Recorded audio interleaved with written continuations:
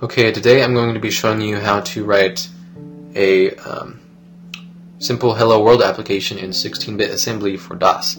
So the first thing you're going to do is obviously bring up your DOS prompt, and you can do this by typing the Windows key and R. Okay, so this should bring up this black dialog box here. If you're not running it as administrator, you'll have um, C slash users slash whatever your username is, um, but it doesn't really matter. Okay.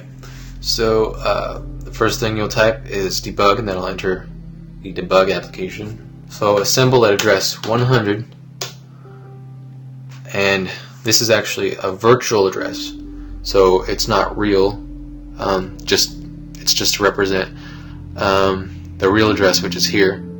And for you, um, it should be different. Um, this is just what happens to be um, what just happens to be what the memory is using right now.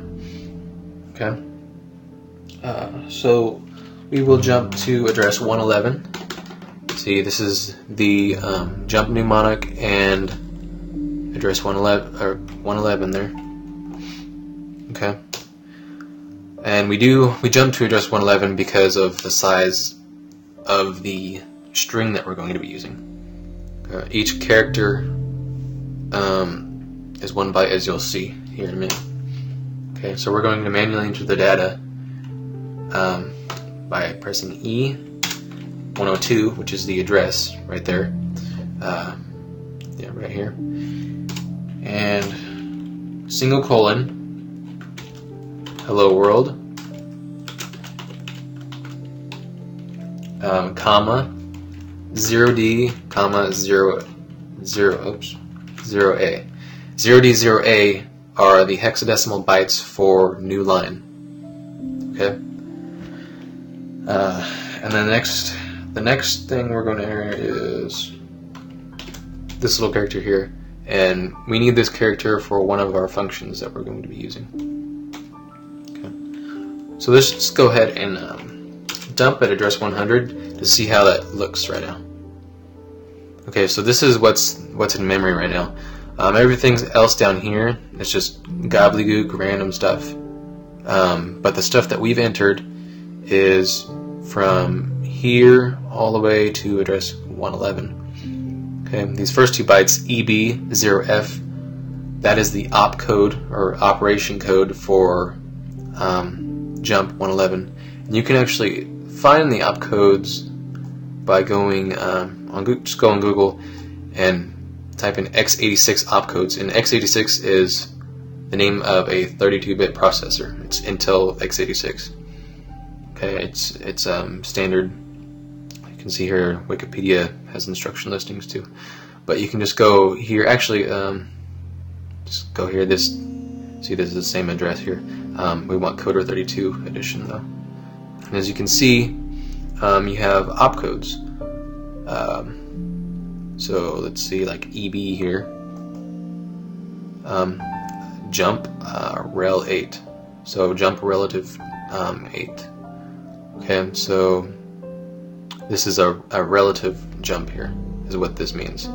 Um, and you can see there are other jumps, E9, um, relative 16 over 32. Okay, so um, different opcodes for different things. And if you don't know what hex is, just you know Google search that hexadecimal. Um, it's basically instead of a base 10 system, you have a base 16 system. So you have uh, you have the standard 0 through 9, and then you have um, A through F. All right. Now back onto the program. We're going to um, assemble again at address 111 because that's where we last left off, right? Okay, and we're going to use a mnemonic move DX, which stands for um, data register, and 102. What this will move do is move address. It will move everything from 102 up to that character, the dollar sign character. Yes, my brain's not working right. Okay, the certain thing I should know is that um, DX doesn't go into address 102. 102 goes into um, the DX register. Okay, so that goes in, into the data register, so it's kind of flip-flopped. Okay, next we'll do move AH, and this does, this is, we don't do AX because, well, first off, AX is the accumulator register, that is for um, logic and arithmetic. Okay, so that's what we do math with. Um, but we're not going to use the whole register, we're only going to use the high byte of the register. We want to use low byte, and we do L. Okay, so we're going to do the high byte and then 0, 09. This is function 9 um, with interrupt 21. Okay, um, interrupt 21 is basically halts the program. Or actually, any interrupt halts the program, and it looks for um, some function. Um, in this case, it will be zero, uh, function 09. And if you can actually find um, a list of interrupts by searching Ralph Brown's interrupt list. Uh, you see, here's a site here, and there are various ways to look at look at it, but we'll just go here, interrupt, um, and we want 09, right? Or no, 21. Sorry, interrupt 21 as you can see AH09 yes so this is function 9 as you can see that is the terminating string. Um, and it writes string to standard output.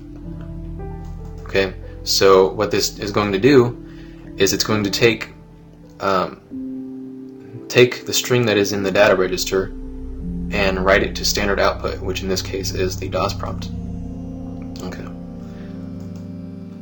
so we'll do interrupt 21 and then interrupt 20, which doesn't require any function. It just closes the program. So we'll just hit enter, enter. Okay. Um, you can calculate the byte difference by pressing H, 11A, and then 100. And it's um, so there's an addition and then there's subtraction. In this case, 0, 1, 1A. So let's enter the count register by typing RCX and 0, 0, 0, 1A. Alright. Um, we're going to name the program hello.com. Okay, and then W for write. Okay, so it write, wrote that many bytes. As you can see, it came up right here and we're going to quit. Okay. Now if you type in hello, woo, hello world, yeah. So, okay.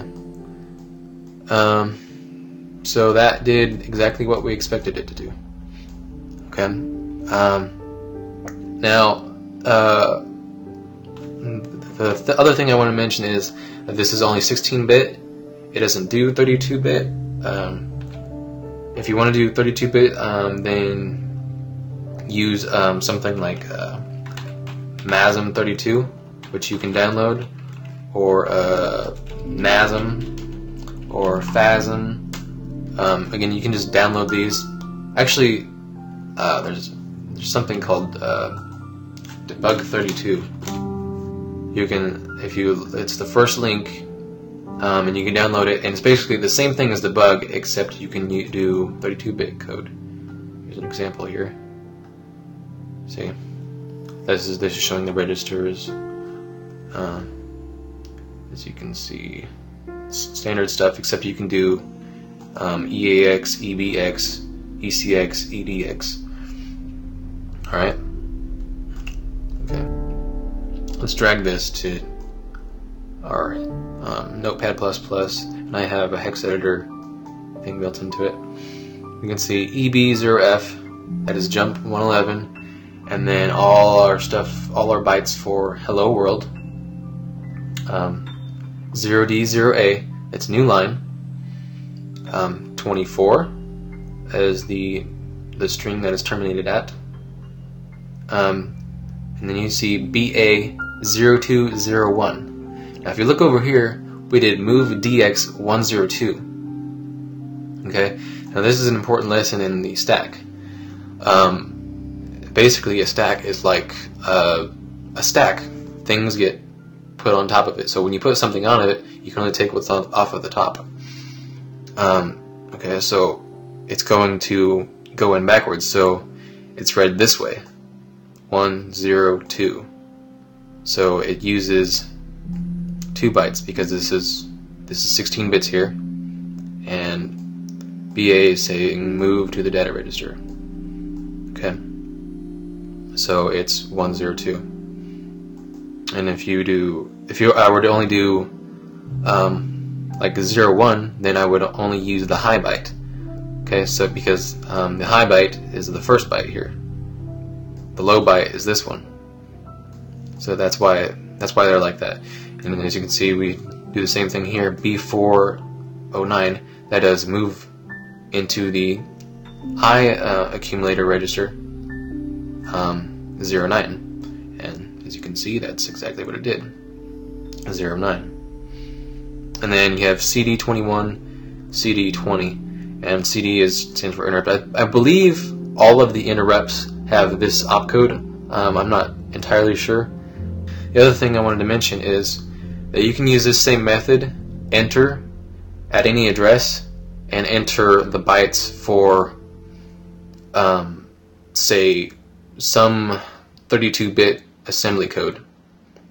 Okay, so um, if you were to get debug 32 and then figure out the opcodes for a particular code, like move, EAX, you know, whatever, whatever hex, okay, um, then you can just, you know, you can go enter some address and then you know enter the bytes one by one six four six four nine two I don't know you know what what they are six four nine two whatever blah blah blah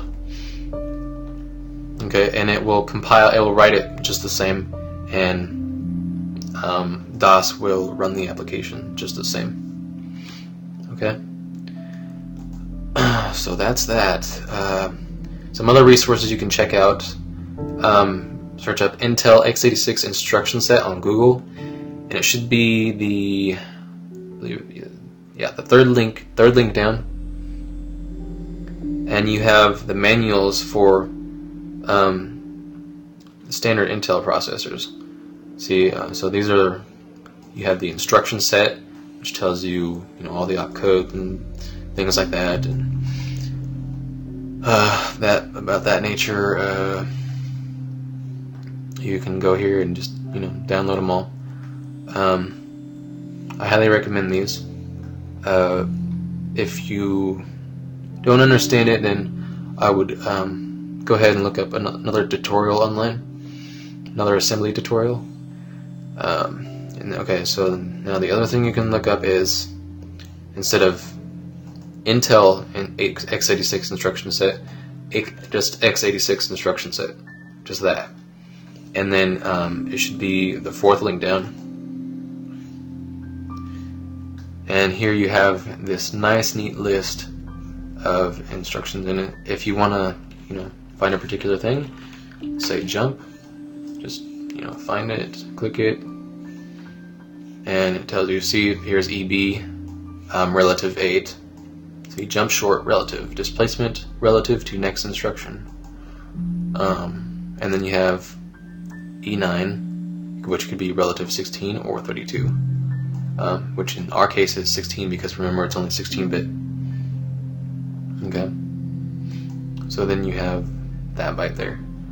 So that's another relative. And then you have absolutes here, which are different. Anyways, um, also on this site, um, you have Pastebin, which people post, you know, various programs and things on there, and then on documents, x86 32-bit assembly for atheists. The atheist part is just a joke, um, but it's a really, really nice tutorial for Windows and Linux. You're expected to be familiar with C, C++, you know, basic programming, you know, kind of understand the API of your operating system uh, and you're going to need to know some math, um, in particular calculus, I believe. So yeah. So you're going to be um, needing to know that. But this is a really, really great tutorial.